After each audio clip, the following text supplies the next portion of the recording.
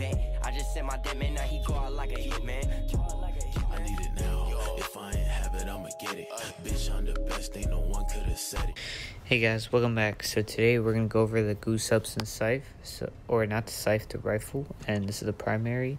This has automatic piercing shot and kill target explode. It also has a poison effect if you guys didn't know that. So I, for no mods, body would be 17 plus 7 poison, which would be 24 damage, and head would be 23 plus 8 poison, which is 31 damage. And for level X mods and wear plus mask, I didn't really get um what the damage was on rare armor, but for advanced combat armor, which has 260 HP on body, this is not. I didn't uh I didn't test like the instant damage, but I tested after poison would be 24 damage. And for headshot against advanced combat armor, not instant, just full poison. With the poison would be 31 damage. So I'm not sure how to calculate that, but I'm gonna say I'm gonna say it's like 50 damage, 60 damage maybe for headshot, and like 40 or 50 damage for body.